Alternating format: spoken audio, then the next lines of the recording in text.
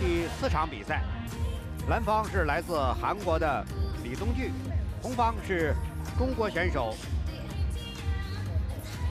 特留努尔巴希尔。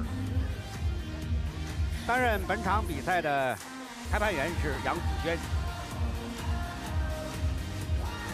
双方第一回合的比赛马上就要开始，在已经结束的三场比赛当中，韩国选手、中国选手和哈萨克斯坦选手分别获胜。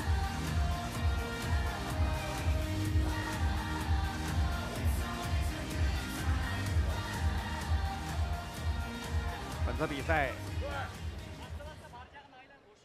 好，双方第一回合的比赛马上开始。好，比赛开始。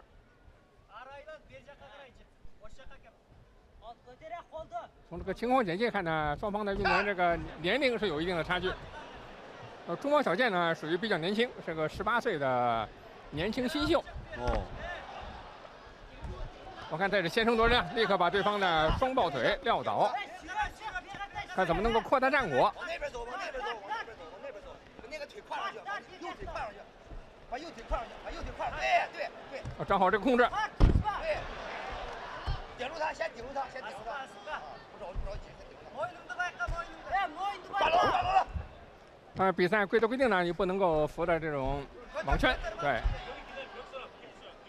不能借助任何外力，就是。呃，可以用脚蹬蹬啊。手是不能借助的，不能去抠。呃，这样呢，利用他这个绝对吃力啊，看他能不能硬起。呃，对方呢现在也非常聪明。起来给他一肘，起来给他一肘，你你就摔不倒现在做一些压制，高起，漂亮。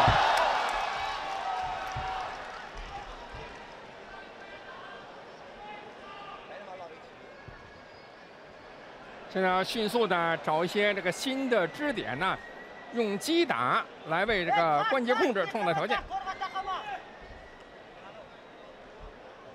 因为这综合格斗的这个比赛和单纯的摔跤是有明显的区别。对，因为它最终是关节制服或者是有效的 KO。可以用拳，也可以关节制服。呃，用拳、用膝、用腿都可以。都可以。呃，也可以用肘，肘呢但不许垂直的向这个。直立的向对方这个砸击，这是不允许的，尤其是向后脑和脊柱部分是严禁进行击打的，嗯也是为了有效的保护运动员。呃，这个比赛呢，我们看起来是拼得非常激烈，但是呢，相对也比较安全。来，后脑看能不能钻一裸脚。这是，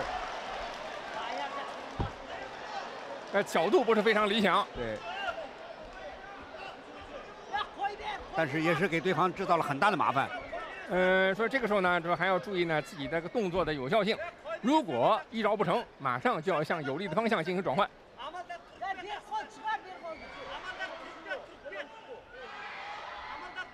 呃，注意，对方呢现在瞄着他的手臂，就是中国选手的这个手臂，要要防止对方呢做这种木村锁。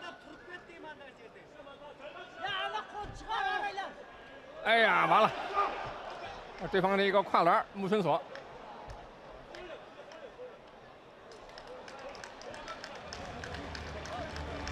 呃，他也表示着非常的无奈，呃，还是为自己的年轻啊，还要付出代价，经验还是经验。这样，韩方、南方的韩国选手李东俊就应该是绝对优势获胜，是吧？呃，对他的这个综合实力啊，确实得到了充分的展示。对，而且在对手啊年轻小将这个那种的先声夺人下马威的这种演冲击之下，他能够转危为安，而且呢能够转败为胜，说明确实是个非常有经验的选手。在韩国被誉为是巨人之祖。呃，确实也是名至实归。对。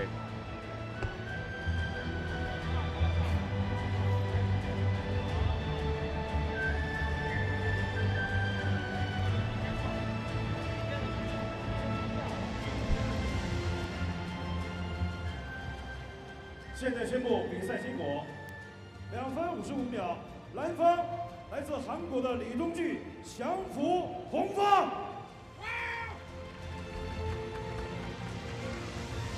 The winner is Blue Corner, Lee t e o g u n from South Korea。下面有请颁奖嘉宾黑龙江省易融投资有限公司董事长孔立先生。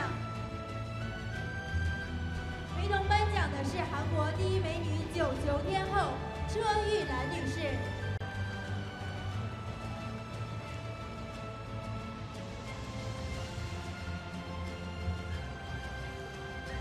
本次的奖牌是价值十万元的昆仑玉制作而成。